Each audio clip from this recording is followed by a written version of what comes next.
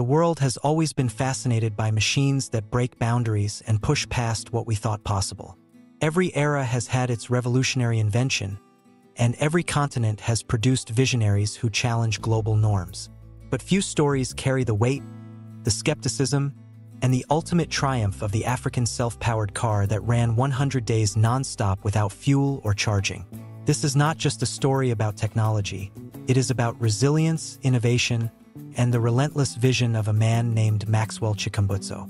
Born in Zimbabwe, Chikumbutso never fit into the mold of traditional engineers. He had no formal engineering degree, no corporate laboratory backing, and no billionaire sponsors. Yet, his mind produced inventions that rivaled the most well-funded labs in Silicon Valley. The self-powered car was not just another idea. It was a direct challenge to everything we believed about energy, mobility, and sustainability.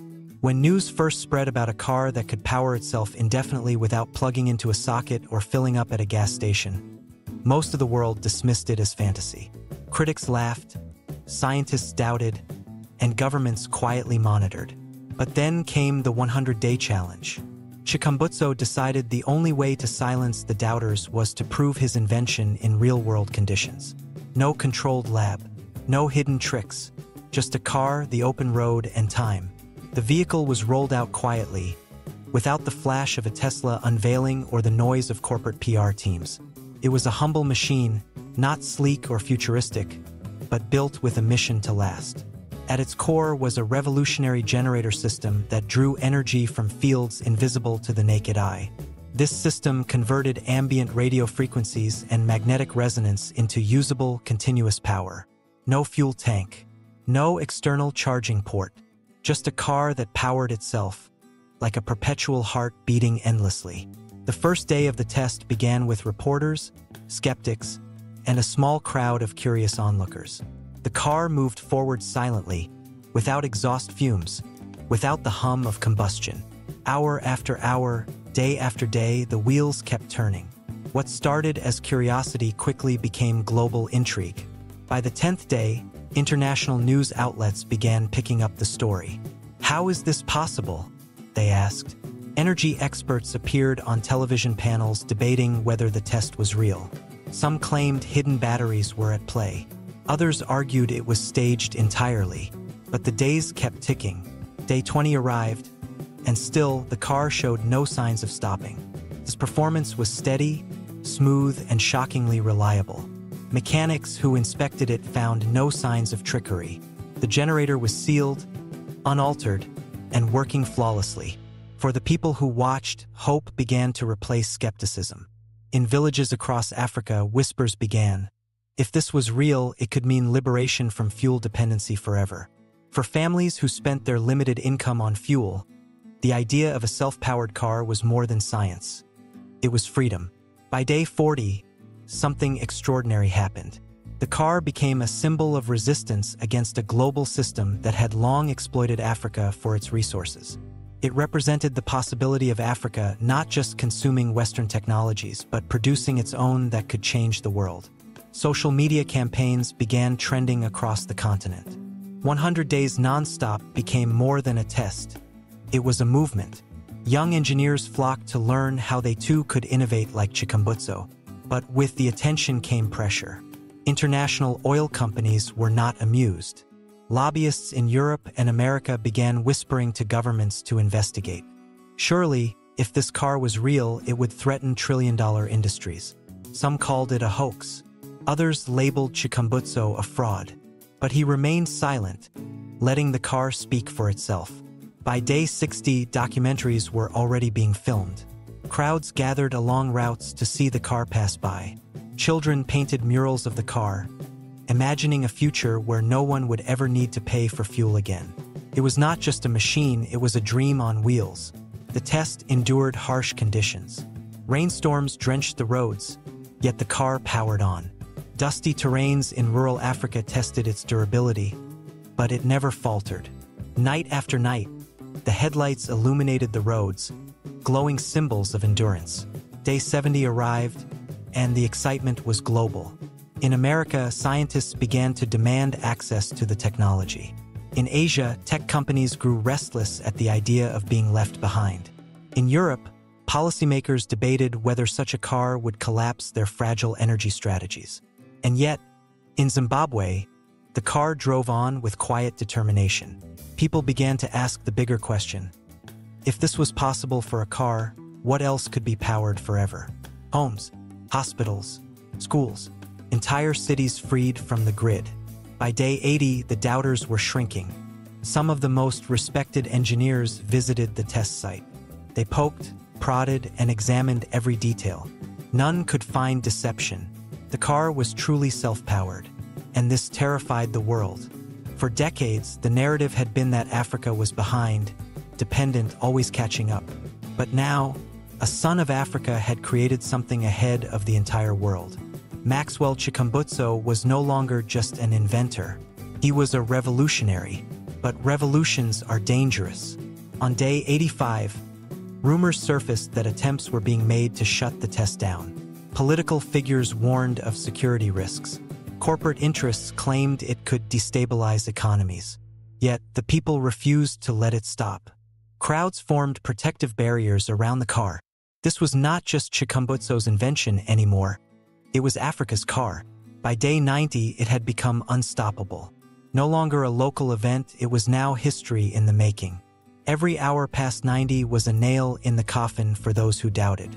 Journalists from the world's biggest networks camped outside the test routes, desperate for footage.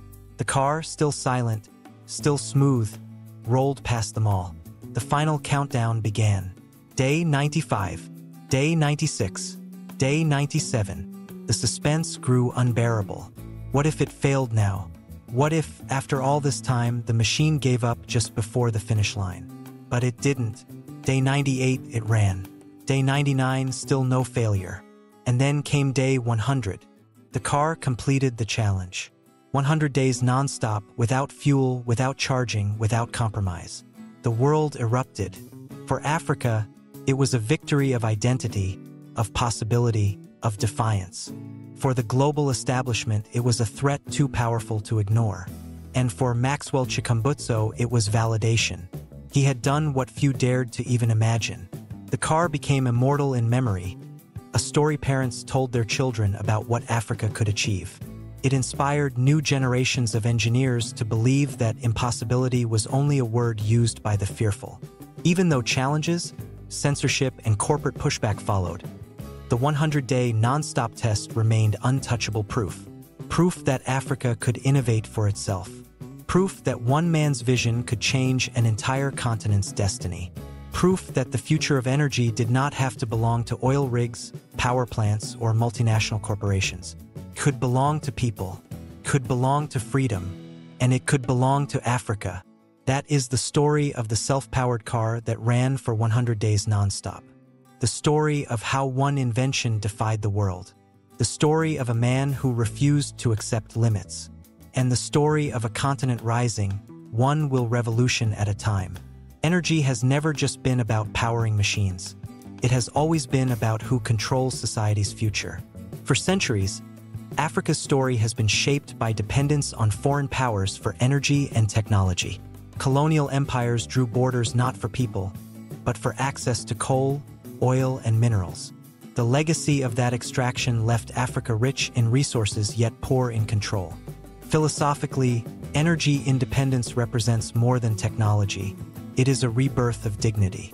It is the ability of a continent to say, we can power ourselves without asking permission. For African families who spend much of their income on fuel, independence means freedom from invisible chains. It means no child will miss school because fuel costs rose beyond what parents could pay. It means no hospital will shut down mid-surgery because diesel ran out. Energy independence restores time, money, and choice to people long denied all three. But the impact goes deeper than economics. It reshapes identity. For too long, the global narrative has portrayed Africa as dependent, waiting for Western aid, waiting for Chinese factories, waiting for outside solutions. A self-powered car that can run 100 days without stopping challenges that narrative at its core. It declares that Africa is no longer waiting, it is leading. Philosophically, this flips the balance of power.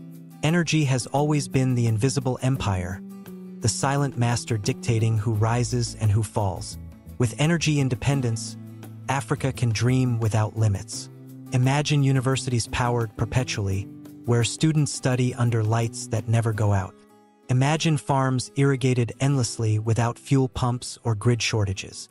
Imagine cities where streetlights burn bright every night without government rationing. This vision is not simply technological, it is moral. It answers the question, should progress be reserved for the wealthy, or is it a human right? When energy is free, accessible, and abundant, poverty itself begins to dissolve. Philosophers once argued that freedom comes when people can think and act without coercion. But in modern times, true freedom comes when people can live without energy dependence. Energy is the blood of modern civilization. If Africa can produce it freely, then Africa can finally own its future. This changes not only how the world sees Africa, but how Africans see themselves. No longer the last to adopt new technologies, but the first to pioneer them no longer victims of scarcity, but architects of abundance. The philosophical impact extends into politics too. Governments that once feared protests over fuel prices could redirect resources to health, education, and innovation. Leaders could focus on uplifting people rather than negotiating for oil subsidies or foreign loans. Energy independence becomes political independence. It becomes cultural independence. It becomes psychological independence. It tells every young African engineer, you are not behind, you are ahead. And in that realization lies the greatest revolution. Africa will no longer measure progress by Western timelines, but by its own destiny. The self-powered car is not just a machine. It is a philosophy on wheels. It is a question posed to the world.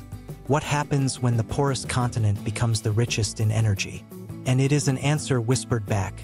The future begins where freedom of energy begins.